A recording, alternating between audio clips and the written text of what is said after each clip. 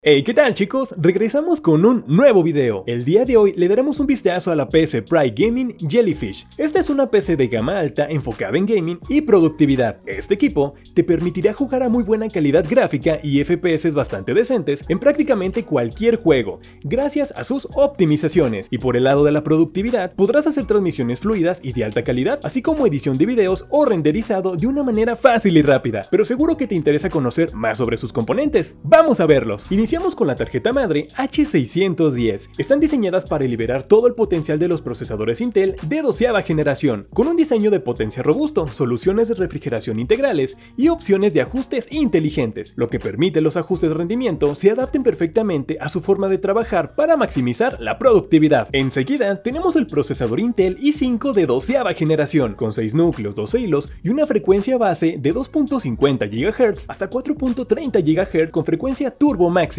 Cuenta con un total de 20 líneas de CPU PCI Express, sin duda una opción confiable para juegos y productividad. Para acompañar al procesador encontraremos un disipador todo en uno de 240 milímetros, que cuenta con un diseño de microcanales. Estos permiten una disipación de calor más eficiente, manteniendo tu CPU en la temperatura ideal ya sea en operación normal o incluso en overclock. Después encontraremos la tarjeta de video Nvidia GeForce RTX 3060 de 12 GB, que es compatible con hasta 3 monitores al mismo tiempo. Construida con el potente rendimiento de gráficos de la arquitectura Nvidia Ampere, la cual presenta nuevos núcleos de Ray Tracing. En el almacenamiento tenemos un SSD SATA de 480 GB. Esto te ayudará a ejecutar procesos de manera más rápida que un disco duro convencional. Y si sientes que te quedas corto de espacio, puedes agregar hasta 5 almacenamientos extras. Como memoria RAM, encontraremos un módulo de 16 GB a 3200 MHz, que por el momento es suficiente. O si bien lo deseas, puedes agregar un módulo más para enviártela con 32 GB de RAM. Si te está gustando este video, no olvides dejar tu like, así como suscribirte al canal si aún no lo has hecho. Con esto ya estarás apoyando bastante y nos ayudarás a seguir trayendo este contenido. Ahora pasaremos a probarla en algunos juegos para que veas un rendimiento. ¡Acompáñame! Para comenzar con las pruebas de rendimiento, jugamos Battlefield 2042 en gráficos personalizados, mostrándonos un rendimiento estable entre 70 a 90 FPS. Y a pesar de ser un juego donde en todo momento hay bastante por renderizar, no tuvimos ningún bajón durante las 3 horas de prueba. Ahora pasamos a un juego diferente. Estamos hablando de Valorant, que en gráficos competitivos nos mostró un increíble rendimiento con más de 200 FPS. Aquí no tenemos mucho por agregar, ya que siempre vas a mantener un buen rendimiento con esta configuración mostrada en pantalla. Es hora de cambiar el estilo de juego con Spider-Man remasterizado. Vamos a poder disfrutar de este divertido juego entre 85 y 100 FPS en gráficos personalizados. El día de hoy, este juego sigue mejorando aún con los parches semanales. Debido a esto, puede ser que mejore más su rendimiento en el futuro.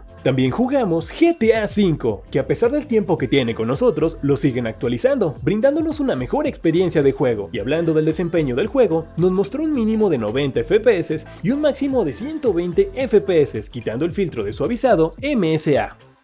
Como te has dado cuenta, la PC Pride Gaming Jellyfish es un equipo con la flexibilidad necesaria para gaming y obviamente hoy por hoy una de las mejores opciones para streaming en lo que refiere a calidad-precio, no solo por el rendimiento que demuestra, sino también por el presupuesto que es bastante adecuado para la gama de componentes que contiene, por lo que lo hace una opción bastante sólida para sumergirnos en este mundo de creación de contenido. Hemos llegado al final de este video, si tienes alguna duda sobre este u otro equipo, puedes compartirla en la parte de los comentarios, o también dejarnos qué te pareció este equipo.